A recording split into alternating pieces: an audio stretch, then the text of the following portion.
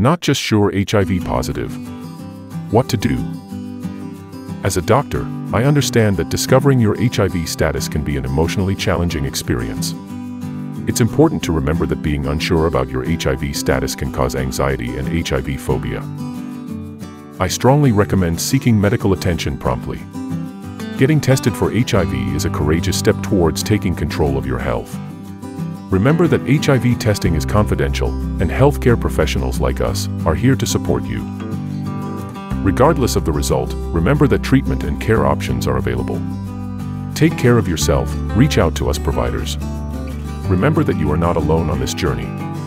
The good thing is that the probability of testing HIV positive is less than 2%, so most likely you will test negative. Not just sure if you are HIV positive or not. See thousands of videos on this channel teaching about HIV testing and window period.